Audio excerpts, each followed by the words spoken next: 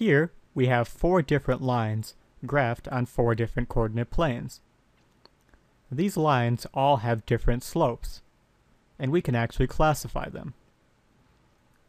In the first graph, our line has a positive slope.